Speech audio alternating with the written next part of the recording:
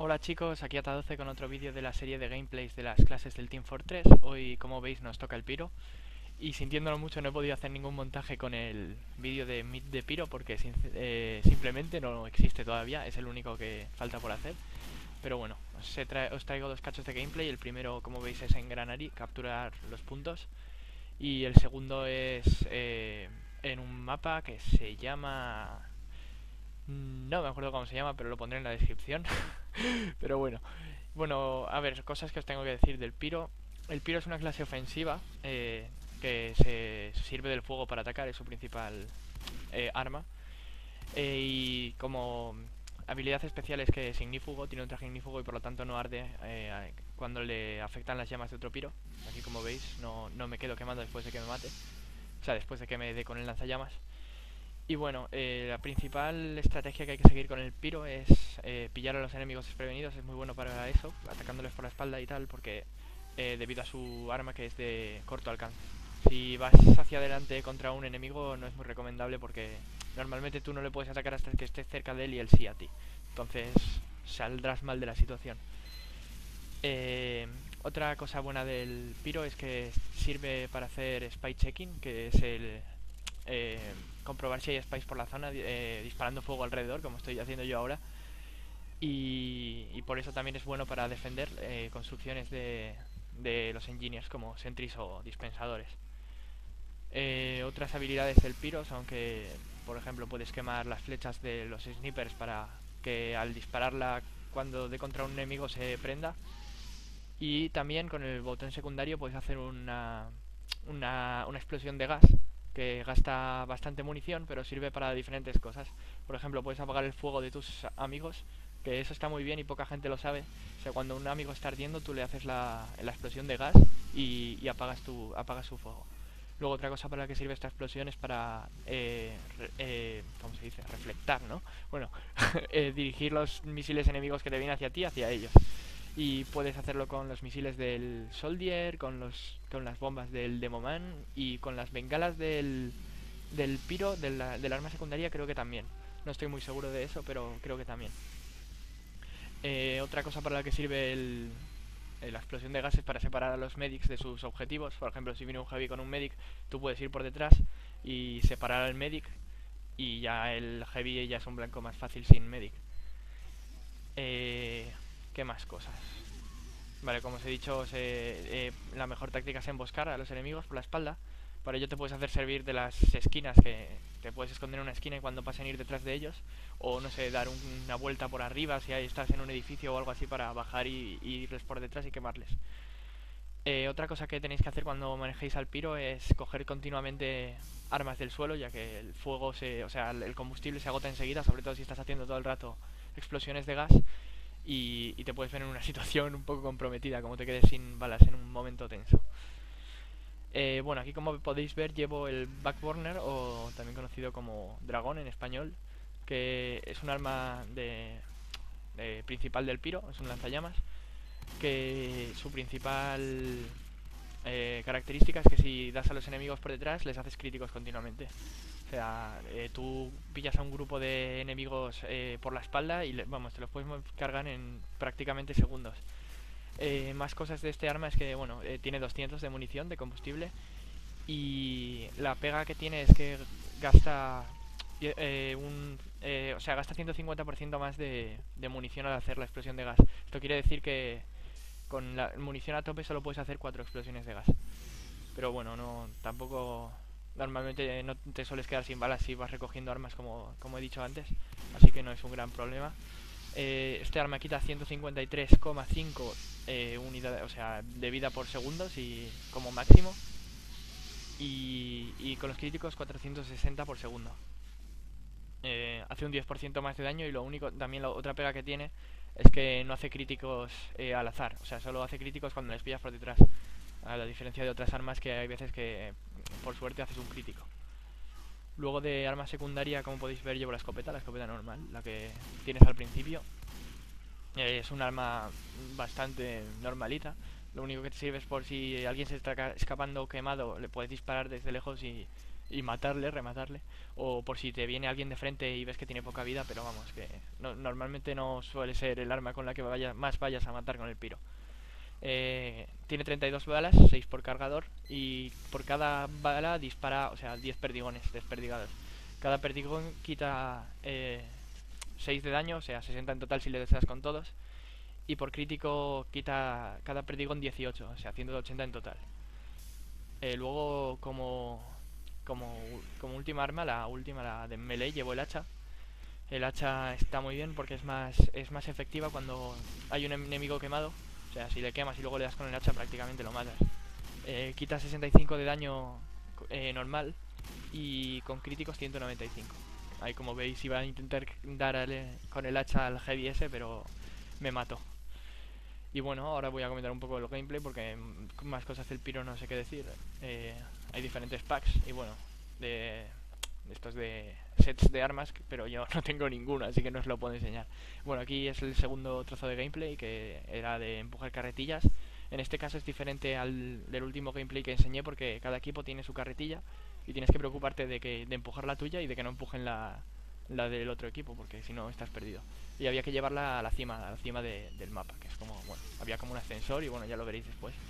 Aquí estaban continuamente, ahí estaba nuestra carretilla, que si no la empujamos continuamente se cae porque está en cuesta, y nos estaban emboscando continuamente, tenían sentries por ahí arriba y no podíamos pasar. Entonces estábamos un poco hasta las narices y como veis estaban subiendo nuestra carretilla y, yo dije, bueno, aquí hay que hacer algo. No, no, no puede acabar así la cosa. Y bueno, ya veréis ahora. Ahí salgo. Creo que es ahora el momento épico, pero no, no, no estoy seguro. a lo mejor no. Bueno, aquí como veis ya estaban defendiendo ya, pero lo habían conseguido subir por la cuesta. Y yo iba tan tranquilo a ver si conseguíamos empujar un poco la otra carretilla. Pero creo que ahora es cuando me matan con la sentry, porque es que estaba, estaba llenísimo. Arriba estaba repleto de sentries y dispensadores, ahora lo veréis. Mira, hay una sentry, un dispensador, un heavy, un engineer poniendo más cosas. Aquí yo intento quemar la heavy por la esquina, pero me resulta difícil y me voy. Y ahí me mata uno que no sé de dónde salió, pero bueno, se supone que por ahí estaba mi equipo protegiendo, pero parecía, parece que no. Bueno, de este mapa, no sé, la, verdad es que la, es la primera vez que he jugado en él. Eh, todo lo que llevo jugando el Team Fortress solo me lo, solo me lo he encontrado me he encontrado con él una vez. Y digo, bueno, voy a grabar a ver qué tal sale. Y bueno, ahí veis que había un, un, un spy todo el rato disfrazado de engineer, no se disfrazaba de otra cosa y ya le teníamos localizado. Mira, aquí como veis, aquí es el momento emboscada. Primero mato a este que intentaba colar, mato a un spy que se cruza en mi fuego y les pillo por detrás aquí y digo, bueno, voy a poner las botas. Primero mato al medic, luego a este heavy, luego al otro, y aquí se ha cortado el vídeo, no sé por qué. Ahí está. Vale. Y aquí mató al seguidamente a, un a un Demoman que se cayó no sé a dónde, no, tengo ni idea si murió por el golpe, murió por el misil del otro, no sé. Y aquí un, un medic que iba totalmente solo, digo, bueno, chaval, ¿dónde vas? ¿Qué te crees? ¿Te puedes colar así? Nada, muerto. Todo el rato haciendo asistencias a soldiers. y bueno, Aquí otro medic. No, sé realmente cuántos medics había en el otro equipo, pero había bastantes.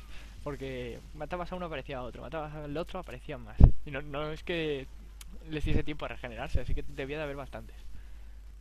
Y bueno, aquí me choco, me choco con el engineer y digo, uy, aquí pasa algo raro, no puedo pasar. Al final era un spy. Intentaba quemar al medic ese. Le, le consigo quemar, pero ahí había otro, como os digo, estaba llenísimo. Y yo ahí intentando pegarme lo máximo posible a la pared para que no me diesen las sentries, pero me salió mal, me salió el tiro por la culata y me empezó a disparar la de detrás y salí disparado. Hay un momento que conseguimos cargarnos las, las construcciones gracias a un spy que había por ahí que mató a los principales defensores de esa zona. Nos conseguimos colar y acabar con todo. Mira, aquí ya está el spy. Nos conseguimos cargar todas las construcciones, gracias a Dios, porque era un horror. No se podía pasar por ahí si no. Como veis, la, nuestra carretilla se había quedado atascada, no venían ya a intentar levantarla. Y digo, bueno, pues podemos retomar todavía. Vamos mal, pero podemos retomar. No es tan grave la cosa. Aquí veis que, nada, intento volver a la zona de las construcciones, a ver si se había destruido la cosa o no. Empiezo a quemar aquí un... Estaba quemando el dispensador, se cruzó el engineer. Mala suerte para él. Aquí muero. Desgraciadamente ahí estaba el respawn de los enemigos y salían continuamente y nos mataban cuando intentábamos destruir los, las sentries. Mira aquí Max Power como Homer. Mira, aquí ahí podíais ver cómo se los estaba cargando ya las destrucciones. las construcciones, no las destrucciones. Y ahí nos empezaron a mover otra vez un piro valiente que nadie lo mataba, no sé por qué. Estaba cerquísima. Y me lo cargo y bueno, no, ahí veis cómo ha volado. Ha volado un sniper que no sé de dónde coño salió. Creo que lo golpeó un, un scout con la burla. Y bueno, aquí ya me cargo a este engineer, eh, a la sentry y a este dispensador ya no quedaba ninguna construcción más. Me mata ese heavy que iba continuamente con la escopeta, no sé por qué. a lo mejor no, no sé, no, sé si no sabía que tenía arma principal o algo así, pero os juro que no le he visto disparar con, con el arma principal. Bueno, ese no sé qué intentaba. intentaba pasar por la puerta del spawn de los otros, que como sabéis no se puede. No, no puedes entrar en el spawn enemigo a no ser que hayas ganado la partida ya. Y bueno, aquí se empezaba a complicar la cosa. Yo me intenté proteger aquí, pero vamos, explotó todo. El, el de Moment nos hizo volar por los aires a mí, al engineer, al dispensador y a la sentry en un momento. Y, y, en parte fue por mi culpa además, porque empujé las bombas hacia allí, pero bueno, no se lo digáis a nadie. Aquí vemos como el scout intenta, sin resultados, proteger la carretilla. Tengo que saber cómo se llama este modo, os lo juro. Ponedmelo en los comentarios, por favor. No me gusta llamarlo el modo de la carretilla. No sé cómo se llama. Mira, aquí como veis había un ascensor. Este ascensor subía hacia arriba, hacia una especie, o sea, hacia donde tenía que llegar la carretilla. Y allí explotaba. Entonces creo que solo subía si había alguien, algún enemigo. O sea, como, como empujar la carretilla, pero con un ascensor. Y ya estaban súper cerca de conseguirlo. Lo bueno es que la carretilla bajaba si no había nadie. Y nosotros estábamos ahí dándolo todo, pero vamos. Yo me coloqué en los primeros puestos en un momento, solo con lo que hice antes de la emboscada a los heavies. Y ahí mato a un... al, engineer que os dije. Y yo sabía que llevaba el reloj este que te matan y, y te haces invisible. Porque ya lo había visto, ya le había visto usarlo. Y digo, bueno, me voy a poner a hacer spy checking como os, os dije antes. Y estaba ahí, efectivamente. Aquí pillo a uno, me intenta lanzar con la explosión de gas, pero no lo consigue y muere. Aquí me acorralan, empiezo a, sentirme violado. Mata ese spy que me intentaba cuchillar y digo, venga va, que lo conseguimos, que estamos subiendo. De repente me caigo, me matan. Me mata ese heavy.